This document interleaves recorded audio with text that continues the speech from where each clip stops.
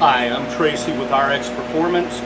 We've got a uh, 2015 new Stingray in here, uh, Z51 uh, uh LT2 option. A uh, couple changes from the 2014 uh, with the LT1 engine. number one, the dry sump setup and the intake ductwork has been changed a little bit. They've altered the location of the passenger side clean side line probably uh, uh, working to reduce the oil uh, ingestion from the dry sump versions. But we're going to take this all apart and we're going to see. Now first I've taken off these uh, coil covers. I'm going to let the engine cool a little bit. I'm going to uh, remove driver side clean side line which is uh, very simply pressing the release tabs on each side this will pop right off. We're going to retain these if it needs to go back to stock sometime. The RX system does come now with uh, OEM style uh, fittings for this. And okay, and I've got one size too small, so we'll come back to that. We're going to first take the cold air dam out. This is a 7 millimeter. Make sure the screws go where you're not going to lose them.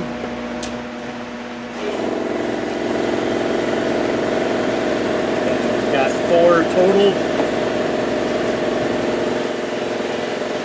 Two on the top and two on each side.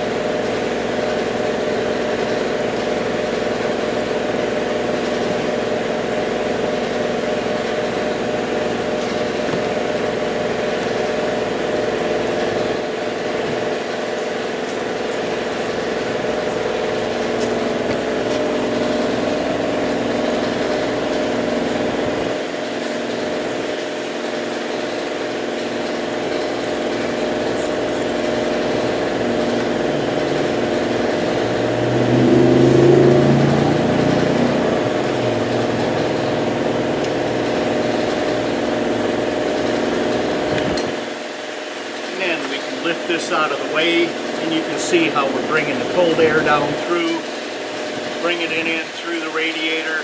This is a nice setup. And next thing we're going to do is release the passenger side. We're going to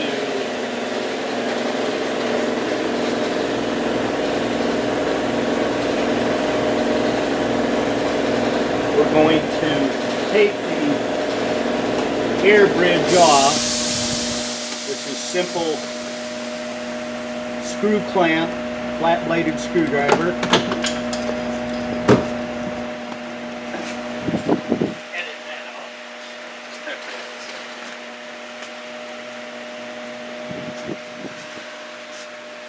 and we're going to inspect just to see what we have for oil ingestion.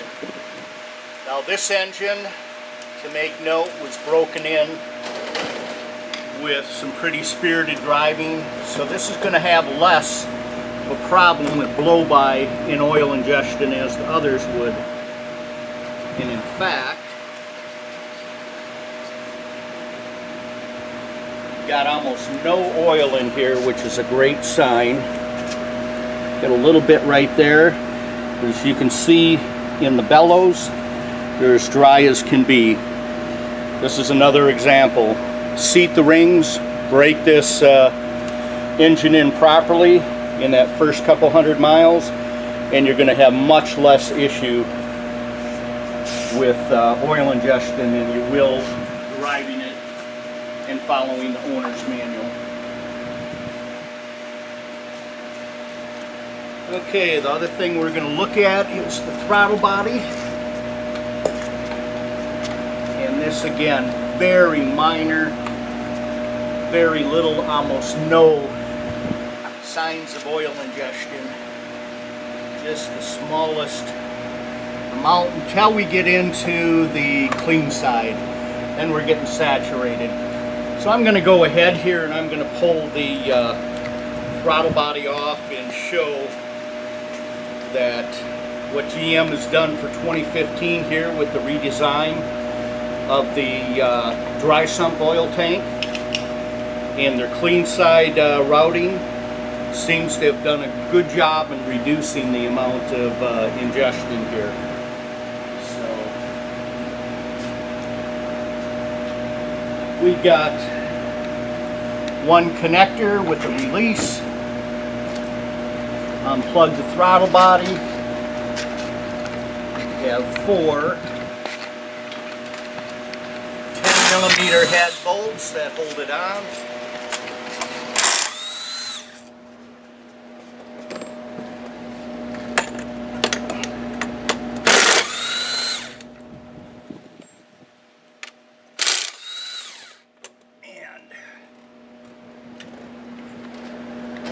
Again. We're going to show, and let me get a white uh, paper towel here.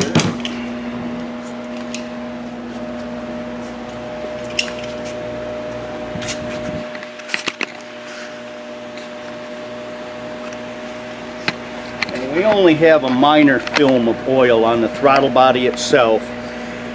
And that's on the back side of the blade and we've got some minor carbon and soot buildup as well in the bore. We're going to clean all that off. But what we're seeing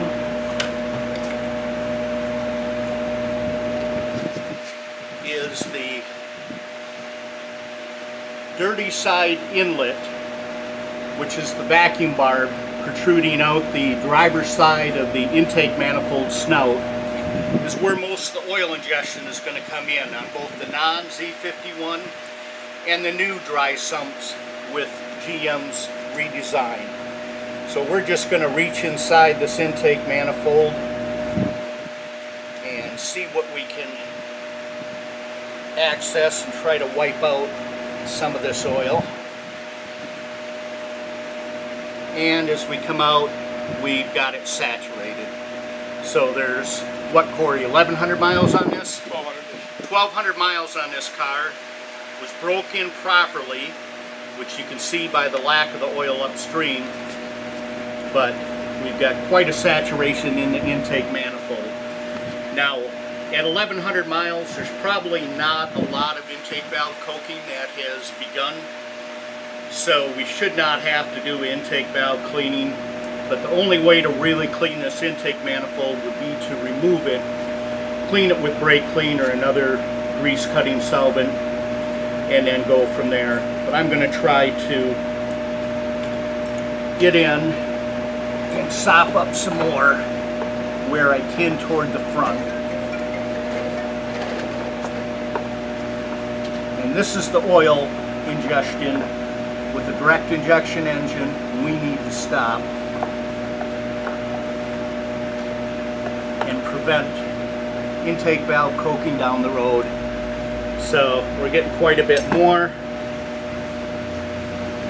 and there's not much more we're going to be able to do there. So we're going to move ahead here and begin the installation of the can. First thing I'm going to do is put the throttle body back on.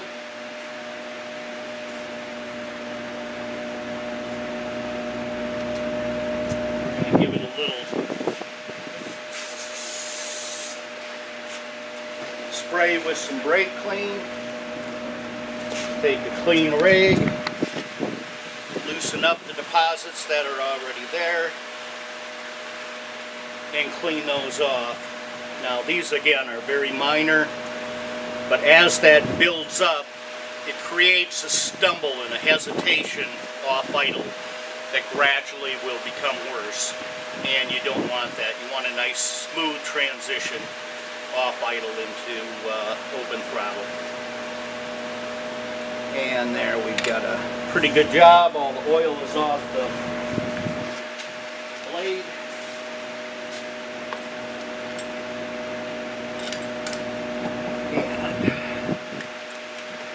And reinstall the throttle body.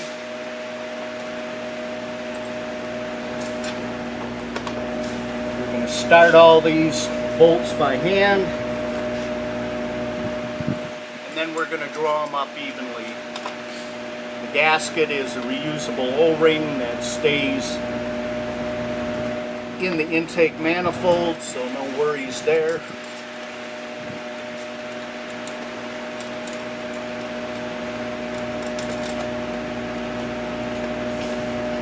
Tracy, do we sell the uh, replacement throttle body setup for this car? Uh, we have it in the works right now. Should have it released hopefully in the next 30 to 45 days, which will uh, greatly improve off-idle throttle response as well as uh, some good horsepower gains.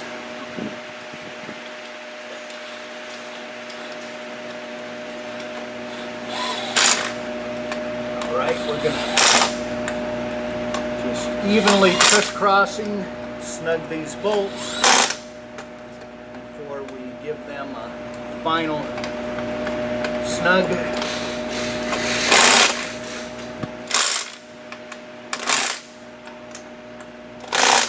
Do not over tighten.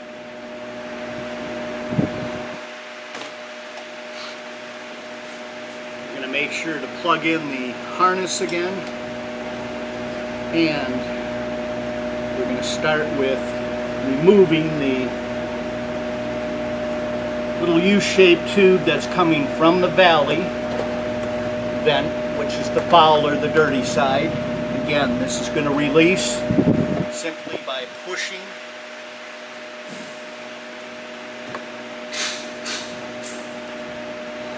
and set this aside as well. We're going to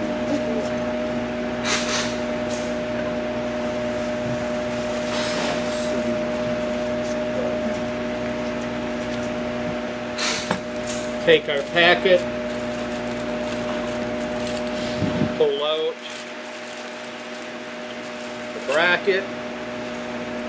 The bracket is going to mount to the driver's side cylinder head.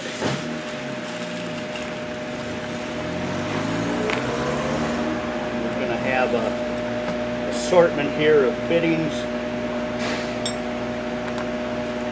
Not all of them are going to be used. I guess they do fit. Alright. So, put the air bridge back in place just so we know for fitment of the can and clearance.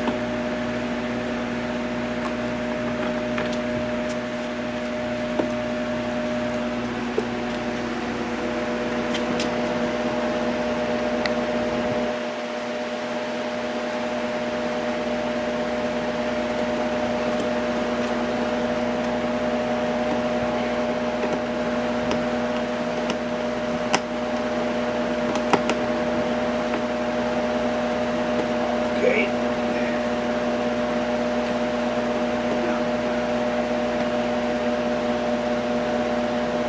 We're going to retain this line here in the clean side is going to replace the oil fill cap on the dry sump.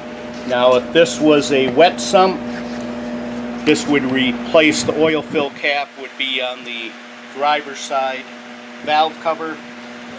So we simply take the bottom section off, install it, takes a half turn cam lock to seat, and you simply, to add oil, pull this off, it seals with the two O-rings. And this is going to be our clean side. So we're going to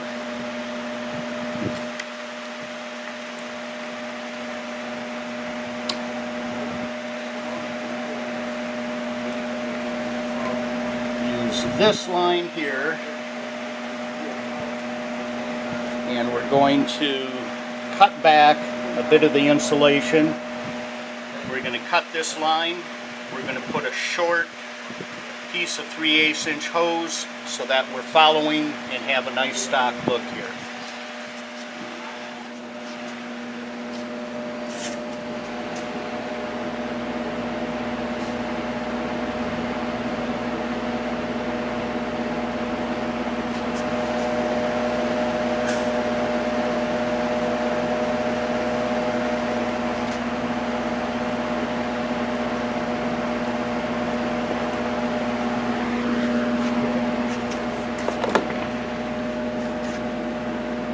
So we're going to go right here where you can see the barb has been pressed on. Simply cut that if it needs to go back to stock. This can be pushed back over and it will still fit at a later date. We're going to save that fitting with the rest of the stock ones. We're going to measure, we need maybe three and a half inches we're going to slide from the barb. On the clean side to this clean side line which is going to bring in the majority of our mass airflow metered air. It's filtered from the main filter comes in through here and vents clean air going into the engine on both valve covers and coming out valley cover. So now clean side's been installed, low profile cap fits, simple pull it up if you need to add oil, push it back into place, it seals, and we're done with this side with the exception of this is now going to run over to this line here so we don't have a direct line into the intake tube. So we're going to take line here, push it over the front barb, and note this is slightly different than what we were doing with the 2014. We're going to route this line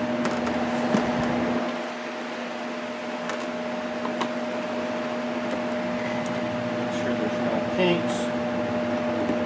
It's going to go down underneath the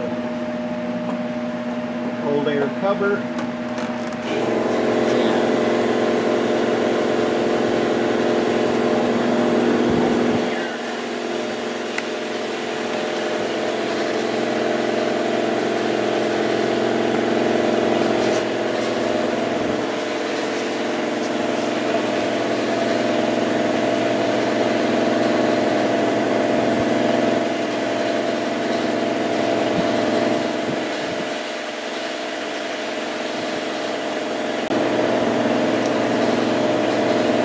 Okay, you'll have to do an inventory of what we're doing.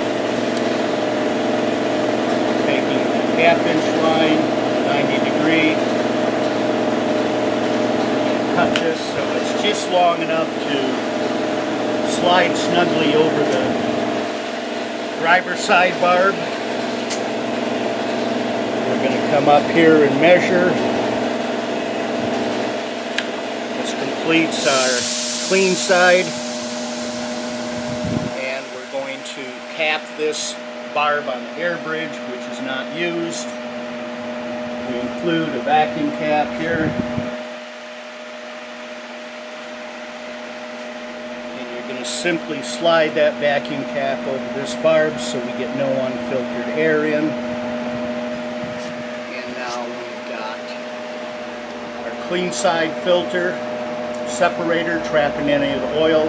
We're bringing in fresh air to both banks. And now we go on to the catch can itself. Alright.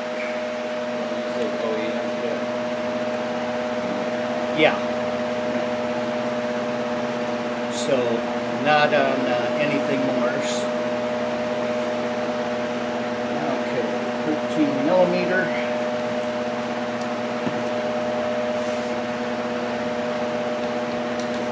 Take a 13 millimeter socket and we're going to remove the existing bolt in the top of the cylinder head on the driver's side here. You're going to have to push aside the harness a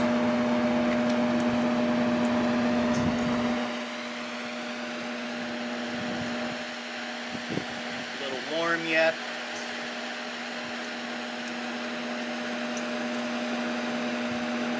Starting with the cool car that sat for a couple hours is ideal, but for this instance, now we're going to take the bolt we removed. It's going to go into the bracket. The bracket is going to mount this way so the bend is out. We're going back into that top hole. Move the harness bracket so that this fits in between. And we're simply going to snug this up so it's straight up and down.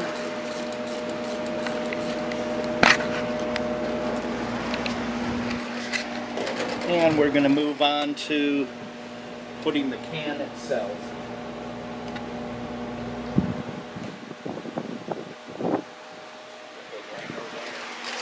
Um, we probably are going to want to do a drain hose on this.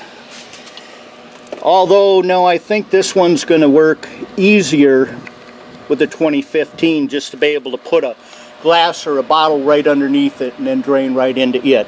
Yeah. We can do a drain hole that comes out the bottom, as you uh, can see, the nipple onto it. and we'll screw the nipple that was included in and tight here. To drain, we're simply opening the quarter turn ball valve and closing when we're done. Drain it with the engine off and at operating temperature. Now we're going to take the mount bolts, our two quarter 20 by one half. They're going to go into the threaded bolt holes here. Again, we're going to bring this in. The lower portion is going to go into the center hole and the upper slot is going into the top hole. Now with the finish baked on, that top hole is going to be a little harder to start. Just be patient, get it started straight. That's going to take 7 16 inch wrench. And we're simply going to tighten these two up.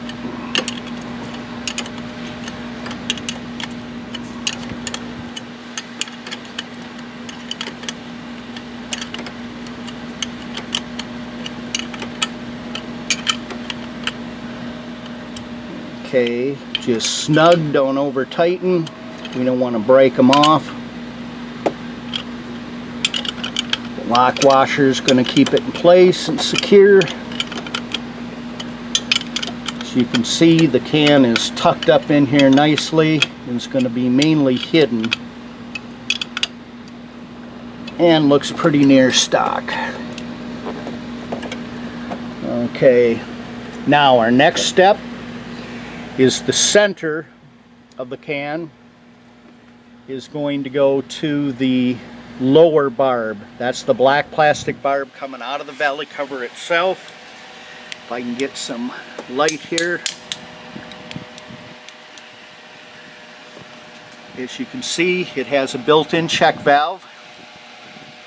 And this is where the foul vapors, the dirty side is going to evacuate. You're pulling out those oil-laden PCV vapors from the crankcase into the can.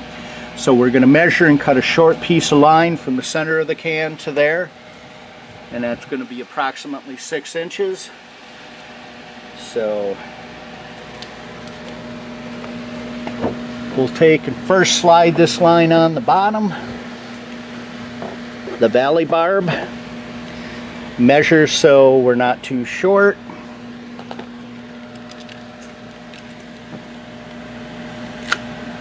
Cut this off and this is going to slide onto the center barb of the can. Get it firmly on there. There's no clamps needed. This will be under vacuum, not under pressure. All right. Now we're going to move to the first outlet. Again, we're going to cut a very small piece. Going to go off of this valve right here.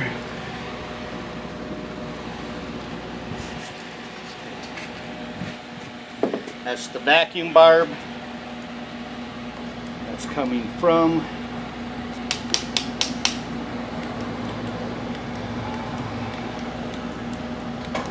Can you shine a light down here? Yeah, sure dark. can. Right, And right. As you can see, it's coming right off the driver's side of the intake manifold snout, right behind where the throttle body bolts on. That's where we're going to be doing this. So again, we're going to cut this just long enough to slide on that barb. I don't know, he'll give me right yet. He just drove to work yet yesterday, and I'm like, you give me right. And we'll slide that firmly on. Then we're going to screw this to the outer fitting here.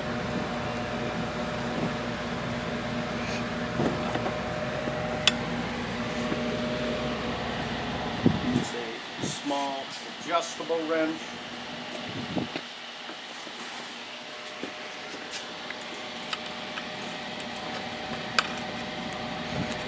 And make sure you don't cross thread you get it started straight. And you're going to just snug this not too tight.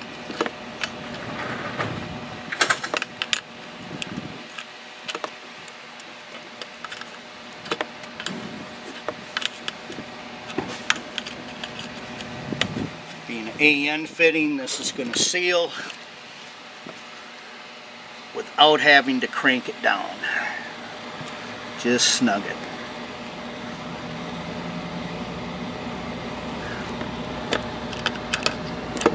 Okay.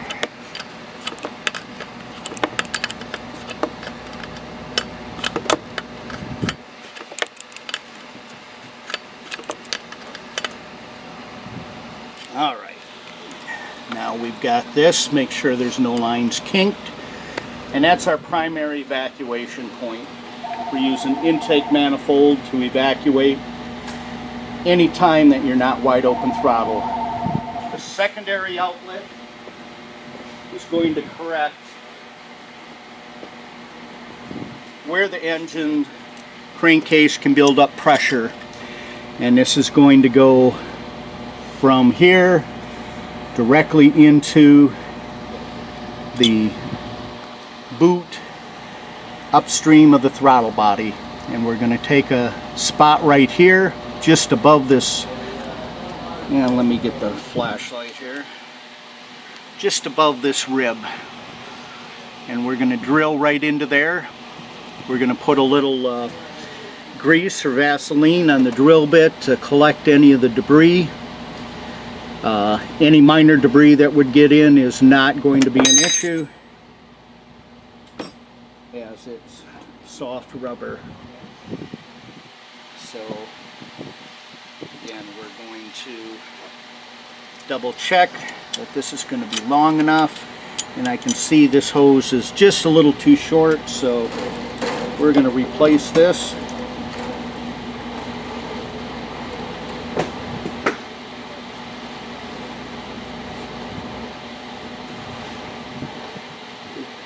Make this a little bit longer. And Tracy, this installation is, uh, there's a diagram for this, right? Is this the one that we made, the LS diagram? It'll be, uh, no, the, uh, uh, diagram, we're gonna do new just for the 2015, Okay, so we'll, since they changed from the 2014 a few things. And we'll be releasing that shortly. and that'll be on our website, rxperformance.com.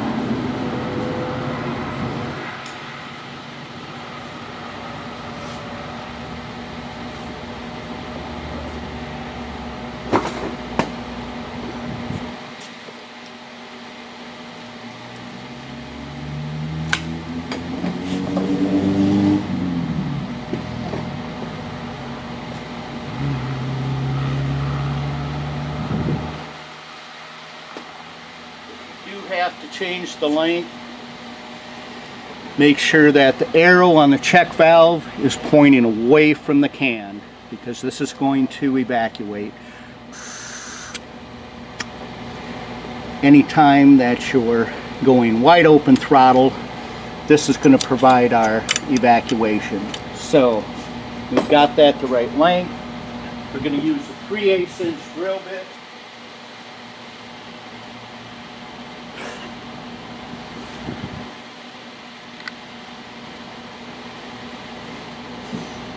which we coated with some grease to catch any of the debris. We're going right above that rib. And we're gonna wipe the grease, which will have any of the shavings with it off. We're gonna take our secondary outlet we're gonna screw this on first. Make sure it's started. We're going to firmly push that in to the hole we just made. Gonna take our combination wrench, adjustable wrench, and just snug that up. And everything is good. And we've completed the rest of the installation. Now we're going to go back over all of our connections and fittings. We're going to start the car and check for any vacuum leaks.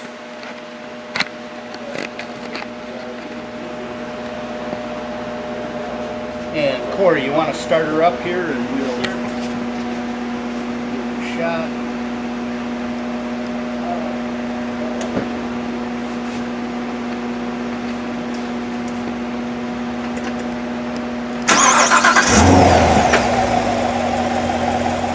Any check engine light? So we have no check engine lights. We can tell by the way it's idling. We don't have vacuum leaks, but we're still going to want to check all of our connections and make sure everything's secure and none of the lines are clamped. And if we look back here, what we did was replaced the front connection for fresh side with the RX clean side. We now have moved so this front connection is supplying clean air to the driver's side. The RX cool valve can is going to route through and trap any of the oil and other compounds from ingestion. So we clean this up. We're going to take, make sure that our covers fit properly here and go back into place. Snug and snap it down.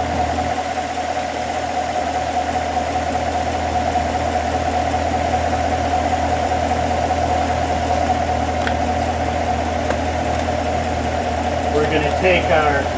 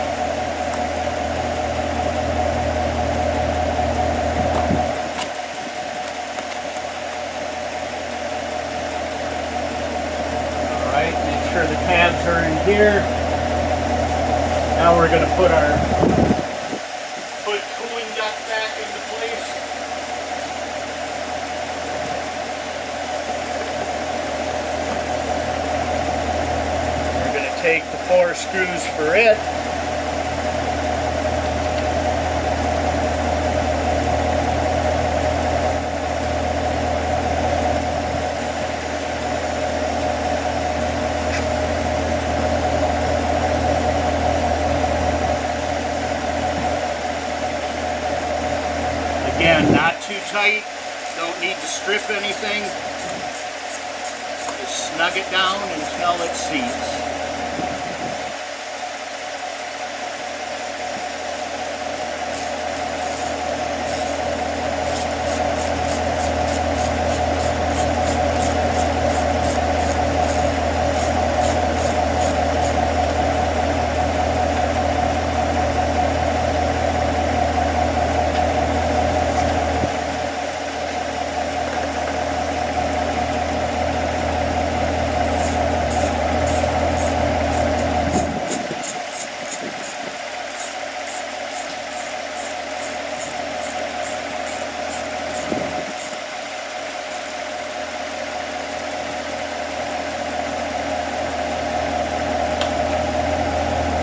You got a soap boy.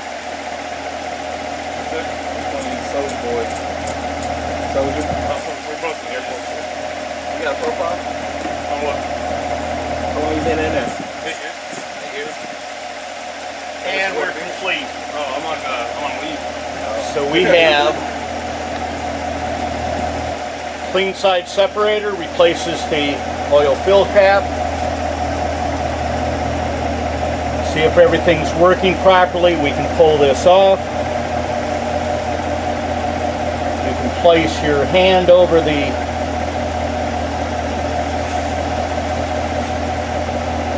opening. You'll be able to feel a little bit of suction. That's pulling in the fresh air. Fresh air is coming in again. Filtered, metered by the MAF into the dry sump tank, feeding both banks. Foul vapors out into the can. And we're complete.